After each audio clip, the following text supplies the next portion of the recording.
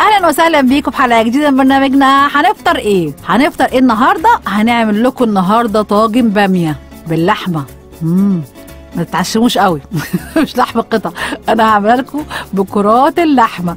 بخلطة كده حلوة. فرح والله عندي أنا هاكل لحمة. ماشي يا لحمة برضه بس مفرومة. بس هعملها بطريقة حلوة قوي تعجبكم. وهنعمل جنبيها بتنجان مخلل.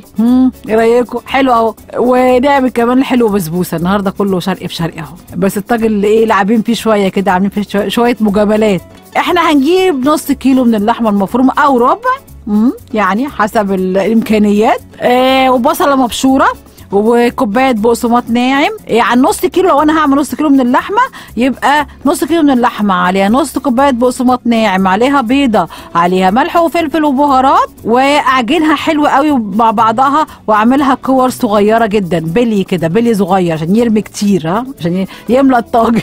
وأجيب نص كيلو من البامية أو كيس بامية ونعمل نص كيلو من عصير الطماطم أو أقل شوية يعني ما كمليش النص كيلو وبصلاية مبشورة. هجيب البامية وبعدين الأول هجيب بصلاية أحطها في الحلة مع معلقة سمنة وأشوحها وأديها نقطة من الملح والفلفل مش كتير على فكرة عشان حتى أحط عايزة أحط مكعب مرق فده بيأثر إن أنا ما أحطش ملح كتير تمام؟ شوحت البصلة معلقة السمنة و يعني رشة ملح صغيرة وفلفل آه بعد كده أنزل عليها عصير الطماطم وأسيبها تاني تتسبك آه، نص تسبيكة بس. بعد ما كورت ال- وكرات اللحمة بجيب طاسة واسعة وفيها معلقة سمنة تانية مش كبيرة وأنزل كرات اللحمة تاخد تشويحه بسيطة كده وش كده بس. أجيب الطاجن أحط فيه البامية نزل عليه الكرات ال- اللحمة دي وأنزل عليها الصلصة اللي أنا سبكتها نص تسبيكة وأروح مدخلاهم كلهم مع بعض الفرن وأسيبهم بقى حوالي ساعة إلا ربع. من نص ساعة لساعة إلا ربع. بس فيديكي بقى طاجن بامية بكرات اللحمة تلاقي الكرات بقت كتير كده في وسط البامية عاملة لها قيمة. أوكي؟ بس كده. شيك قوي على فكرة وحلو قوي قوي. آه نعمل بقى بتنجان مخلل القديم بتاع اللي إحنا بنحمره ده. نجيب بتنجان صغنن يا ريت تنقيه اللي هو العروس الصغير ده الأسود. ننقي كده بتاع نص كيلو ولا حاجة وأروح جايباه منضفاه شايل العنقود اللي فوق وأروح شقاه شقة بالسكينه صغيرة يعني من الجنب كده وأروح بالطول مش مش بالعرض. وأروح محمراه في الزيت وأروح شايلاه على جنب. اعمل له بقى الخلطة بتاعتها اللي هي عبارة عن إيه توم وفلفل حامي أحمر وشوية خل وعصير ليمون.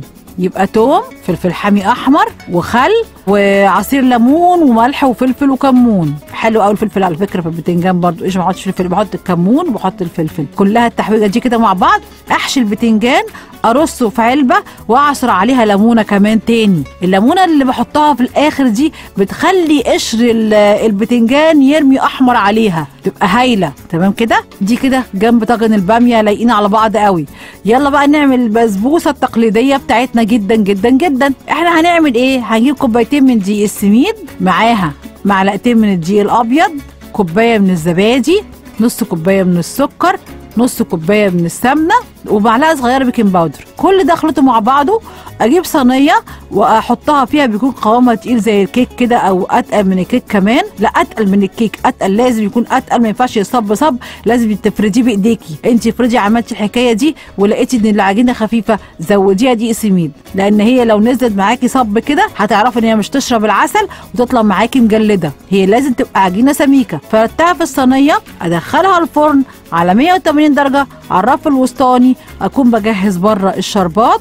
اللي هو كوبايتين من السكر كوبايتين من المية هيغلوا لمدة 12 دقيقة على النار. لازم يكون العسل سخن والبسبوسة سخنة. أرش ال- العسل على البسبوسة وأغطي بصينية تانية وأسيبها لغاية بعد الفطار. بتاخديها في منتهى الجمال وطرية وحلوة قوي. حابة تحطي بقى أي مكسرات على وشها قبل ما تسويها؟ حطي. عايز رش جوز هند؟ رش جوز هند وخب وبططيه بإيديك كده عليها برضو. حلوة جدا. كده عملنا إيه مع بعض النهارده؟